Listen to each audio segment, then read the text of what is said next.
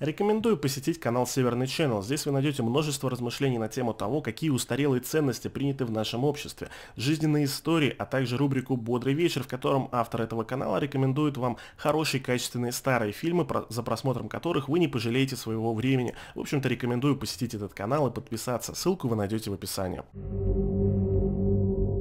Приветствую, дорогие друзья, меня зовут Сергей Лав, и это анонс обновлений, который будет в этот четверг в Робокрафте. Мы рассмотрим то, что будет уже 100%, и посмотрим то, что вероятно будет в этом обновлении.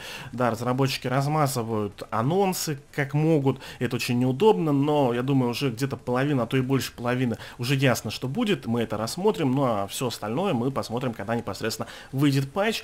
И начнем мы с последней новости, которую разработчики выложили, это новый вид блоков, точнее это чуть-чуть видоизмененный старый вид блоков, то есть это палочки, только утолщенные и удекоративленные, скажем так. То есть вы видите, сердечники в этих штуках вот имеют именно форму именно этих палок. Вот, чем же они отличаются, кроме внешнего вида, это то, что, во-первых, они занимают в 3 раза больше ЦПУ и в 15 раз тяжелее. То есть эта штука, ну, вообще не для воздуха, но я думаю, это будет очень интересно для, дека для декора, потому что у нас таких форм нету, и в какой-то степени это новое слово. Хотя оно уже не столь весомое, как какое-то другое, и ну да ладно.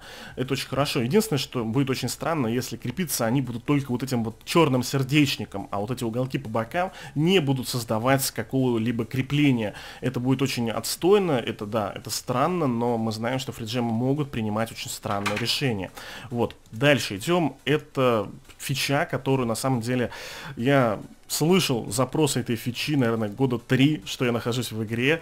Это центр масс, ребята, да. Наконец-то совершилось чудо, и строя какой-то воздух, ну может быть и на земку, вы получите возможность видеть, где же находится центр вашего крафта по весу, чтобы лучше его сбалансировать. По-моему, это классно, шикарно и наконец-то совершилось. Помимо этого, на самом деле в игре появятся еще и индикаторы, которые будут показывать максимально, точнее, ваше текущее здоровье, текущий объем счетов и собственно, массу.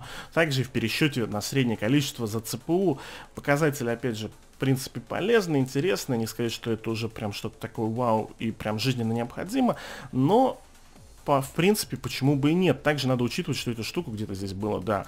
Надо, ребят, внимание, будет включить в настройках. Очень странное решение, как раз таки о чем я говорил, не сделать эту информацию включенный по умолчанию. Хотя, возможно, это касается непосредственно старых игроков, то есть кто будет регистрироваться в игре после этого обновления, возможно, у них будет включено это по умолчанию, вот, ну да ладно. Ну да хрен с ним, давайте посмотрим на итоги третьего голосования в Робокрафте, потому что я думаю, отсюда тоже можно вычленить очень много информации касаемо того, что может быть в текущем обновлении, в грядущем. Мы посмотрим на верхние 4 пункта, э, по крайней мере, одно, два, а то может быть и три отсюда точно попадет. Вот. Верхним вариантом здесь оказываются спринтерские ноги с одной точкой крепления.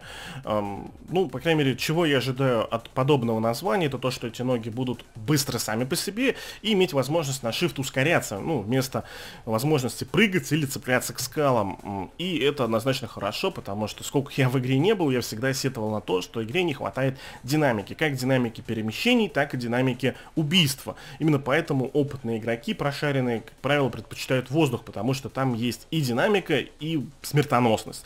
Но разработчики ориентируются на целевую аудиторию, которая не может в быстрые шутеры, поэтому имеем, что имеем. Но в любом случае, если у нас будет еще один очень хороший, качественный метод передвижения для наших крафтов, который будет быстрее или хотя бы одним из самых быстрых, это будет однозначно плюс. Вторым вариантом является добавить новую земную карту в остальные режимы, ну или карту в стилистике Земли. Зеркальным вариантом является добавить Марса-карту в Team Deathmatch режим. Э, что хочется здесь сказать? Э, конечно, для меня основным режимом является ТДМ, и мне бы хотелось в нем увидеть хотя бы одну-две карты, потому что одна карта это ну совсем плохо.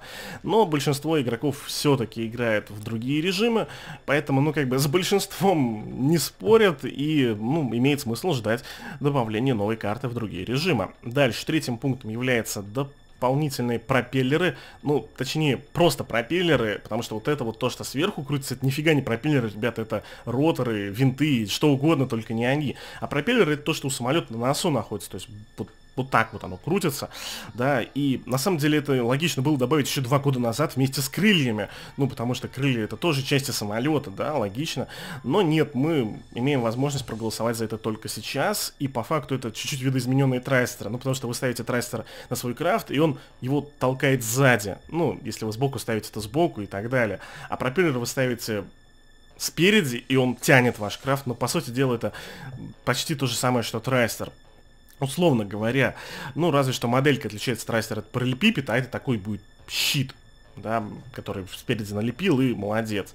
Вот, тем не менее, это однозначно здорово, если это добавит, потому что, ну, самолетом на носу явно чего-то не хватает, прям пустота некоторая ощущается, пусть даже декоративная. Ну и четвертый вариант, это добавить маленькую версию пулеметика, не особо интересный вариант, но я подозреваю, почему он вышел в топы, ну, по крайней мере, в 4, в топ-4 зашел, потому что пулемет добавили, у аудитории хайп, о, пулеметики, пулеметики, а стоят они дорого, 166 тысяч, и как бы не у всех есть деньги, чтобы пощупать данный вид вооружений понять, что он не шибко-таки такой вот и мега-вау, чтобы с него писать кипятком. Но на вот волне хайпа э, новички и средний класс, э, думаю, за это голосовали, чтобы ну хоть что-то пощупать пулеметного характера. Но, по крайней мере, еще ни одно добавление э, smaller вершина никого не особо не заинтересовало и не впечатлило, потому что, а нафига оно надо, потому что ты копишь сразу же на нормальные штуки, чтобы ими пользоваться нормально. Но тем не менее, для новичков и для среднего класса подобное все-таки